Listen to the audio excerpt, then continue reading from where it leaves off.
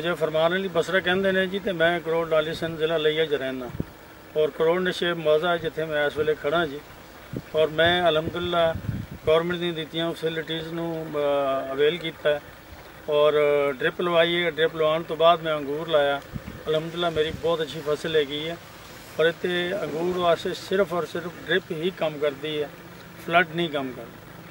ਅੱਛਾ ਇਹ ਦੱਸੋ ਫਰਮਾਨ ਅਲੀ ਬਸਰਾ ਸਾਹਿਬ ਕਿ ਤੁਸੀਂ ਕਦੋਂ ਅੰਗੂਰ ਲਾਇਆ ਕਿੰਨੇ ਸਾਲ ਹੋ ਗਏ ਨੇ ਤੇ ਕਿੰਨੀ ਤੁਸੀਂ ਪੈਦਾਵਾਰ ਹਾਸਲ ਕਰ ਚੁੱਕੇ ਹੋ ਮੈਂ ਸਾਰੇ ਅੰਗੂਰ ਲਾਇਆ 2014 ਦੇ ਵਿੱਚ ਜਿਹਨੇ ਮੈਨੂੰ ਫਰੂਟਿੰਗ ਦਿੱਤੀ 2016 ਚ।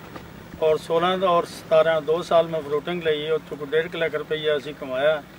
ਔਰ ਹੁਣ ਇਸ ਵੇਲੇ ਦੀ ਤੀਸਰੀ ਫਰੂਟਿੰਗ ਕਹਿਣਾ ਚਾਹੀਦਾ ਹੈ ਜਿੱਥੋਂ ਉਮੀਦ ਹੈ ਮੈਨੂੰ 4 ਤੋਂ 5 ਲੱਖ ਚੱਲ ਜਾਵਾਂਗਾ ਅੱਛਾ ਤੁਸੀਂ ਕੀ ਸਮਝਦੇ ਹੋ ਦੂਸਰੇ ਜਿਹੜੇ ਕਾਸ਼ਤਕਾਰ ਭਰਾ ਨੇ ਉਹਨਾਂ ਨੂੰ ਇਹਦੇ ਉੱਪਰ ਆਣਾ ਚਾਹੀਦਾ ਹੈ ਡ੍ਰਿਪ ਪਾਸ਼ੀ ਤੇ। ਤੇ ਇਹਦੇ ਕੀ ਫਾਇਦੇ ਨੇ ਤੁਸੀਂ ਕੀ ਸਮਝਦੇ ਹੋ? ਤੁਸੀਂ ਮੇਰੇ ਖਿਆਲ ਮੇ ਤੁਸੀਂ ਇਹਦੇ ਉੱਤੇ ਫਲੱਡ ਇਰੀਗੇਸ਼ਨ ਤੇ ਵੀ ਕਾਸ ਕੀਤਾ ਸੀ, ਉਹਦਾ ਵੀ ਤੁਹਾਡਾ ਐਕਸਪੀਰੀਅੰਸ ਹੈ। ਤਾਂ ਤੁਸੀਂ ਸ਼ੇਅਰ ਕਰੋਗੇ ਫਲੱਡ ਤੇ ਡ੍ਰਿਪ ਦਾ ਕੀ ਕੰਪੈਰੀਜ਼ਨ ਤੁਸੀਂ ਕੀਤਾ ਦੇਖੋ, ਜਦ ਤੱਕ, ਜਹਾਂ ਤੱਕ ਤਾਲਕ ਹੈ ਜੀ, ਇਹਦਾ ਅੰਗੂਰ ਦਾ, ਅੰਗੂਰ ਦੇ ਵਿੱਚ ਫਲੱਡ ਦਾ ਕੋਈ ਤਸਵਰ ਨਹੀਂ ਕੀਤਾ ਜਾ ਸਕਦਾ। ਜਿਸ ਲਈ ਅਸੀਂ ਇਹਨੂੰ ਫਲੱਡ ਕੀਤਾ, ਇਹ ਠੀਕ ਹੈ ਕਿ ਸਾਡਾ ਜਿਹੜਾ ਸੀਗਾ ਅੰਗੂਰ ਬਹੁਤ ਅੱਛਾ ਹੋ ਗਿਆ, ਲੇਕਿਨ ਉੱਤੋਂ ਗਰਮੀ ਪਈ, ਥੱਲਿਓਂ ਉਹਦੀ ਸਲਾਬ ਸੀਗੀ।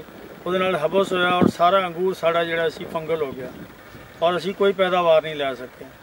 ਲਿਹਾਜ਼ਾ ਅੰਗੂਰ ਵਾਸਤੇ ਇਸ ਤੋਂ ਬਿਹਤਰ ਕੋਈ ਅੱਛੀ ਤਜਵੀਜ਼ ਨਹੀਂ ਹੈ ਕਿ ਤੁਸੀਂ ਫਲੱਡ ਇਰੀਗੇਸ਼ਨ ਦੀ ਬਜਾਏ ਇਹਨੂੰ ਤੁਸੀਂ ਡਿਪ ਇਰੀਗੇਸ਼ਨ ਤੇ ਜਾਓ।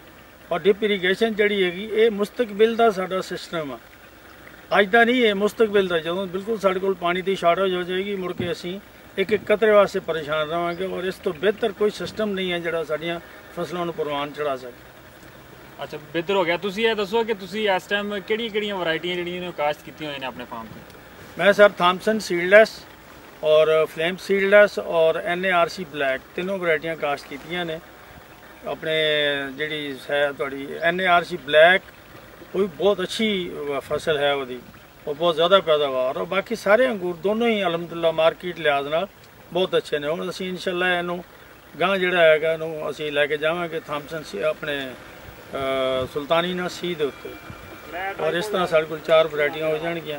ਅਸੀਂ ਇਨਸ਼ਾਅੱਲਾ ਮਾਰਕੀਟ ਨੂੰ ਕੰਪਲੀਟ ਕਰਾਂਗੇ। ਅੱਛਾ ਇਹ ਵੀ ਦੱਸੋ ਕਿ ਤੁਸੀਂ ਕਿਉਂਕਿ ਤੁਹਾਨੂੰ ਚੌਥਾ ਸਾਲ ਹੋ ਗਿਆ ਅੰਗੂਰ ਲਾਦੇ ਹੋਇਆ ਤੇ ਮੇਰਾ ਖਿਆਲ ਹੈ ਕਿ ਹੁਣ ਤੱਕ ਤੁਹਾਡਾ ਜਿਹੜਾ ਡ੍ਰਿਪ ਆਪਸ ਤੇ ਖਰਚਾ ਆਇਆ ਸੀ ਉਹ ਹਜੇ ਤੱਕ ਨਿਕਲ ਆਇਆ ਹੋਣਾ ਇਹਦੇ ਵਿੱਚੋਂ। ਸਰ ਉਹ ਸਾਡਾ? ਸਰ ਉਹ ਸਾਡਾ ਕਈ ਦਫਾ ਨਿਕਲ ਆਇਆ ਖਰਚਾ। ਹੁਣ ਤਾਂ ਸਾਡੇ ਵਾਸਤੇ ਡ੍ਰਿਪ ਬਿਲਕੁਲ ਮੁਫਤ ਹੈ